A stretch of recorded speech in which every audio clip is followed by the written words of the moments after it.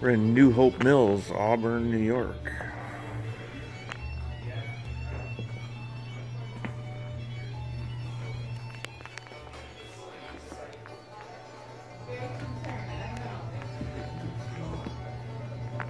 Everything you could want.